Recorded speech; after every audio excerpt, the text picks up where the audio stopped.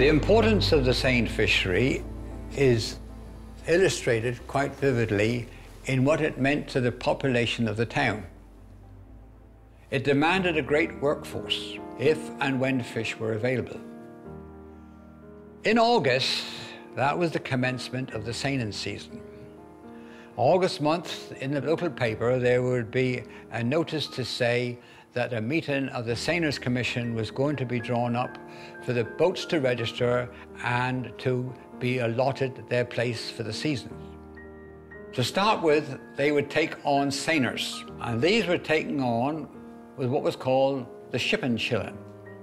You would accept the shilling, and that would bind you to that company for the rest of the season. There was also another class of man which was called the blouser. The seiner was the man who was going to be afloat. The blouser was the man who worked ashore. Now, the blouser never had a wage, but he used to have what was called an allowance. When a seine net was going to be carried from the loft down to the boat, it would take between 35 and 40 men to carry it. Now, if they had taken on 20 seiners, they would want another 20 men. So in the wings, they generally had 20 blousers. And what they would do with them was they would pay them perhaps half a crown each. But the seiners, they did it for their 11 shillings. There were three types of boat used. There was the seine boat, that was specially designed to carry the seine. And then there were the dipper boats, which equally were specially designed to carry the fish. These are boats 40 foot in length, and they can carry in the region of 36 hogsheads of fish, which is 36 fifths of a ton. There was also another boat called either a lurker or a follier. The names really imply what they were. The lurker was really lurking, waiting for action. And if it was the follier, the follier was following the fish and what was going on. It was usually that the master seiner was in the follower. He could go to wherever was happening quickly and give instructions on the sea. Now, the master seiner, strangely enough, more than often was not a fisherman. He was a tradesman from ashore. But he would be taken on as soon as the cry of hevva was made. And there is a story about one master seiner who was a mason, and that he was up the cemetery building a brick grave, and the cry of Hevva was made, and he dropped tools and went. Now, whether the funeral was going to be the next day, or no, I don't know. But uh, that will give you the urgency of the call.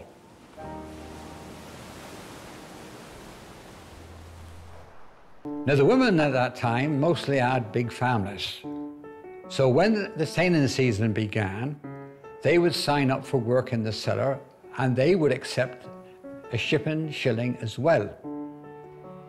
Now, as soon as they heard the cry of hevva, they knew that they was going to be needed. Because as soon as that first gurry of fish hit the cellar floor, they had to be there.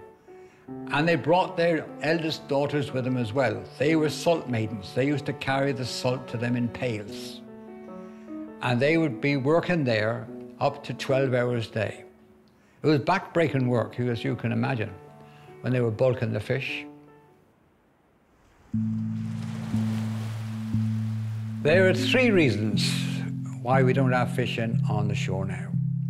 I suppose the principal one really is that we've lost mining now that would draw the fish in.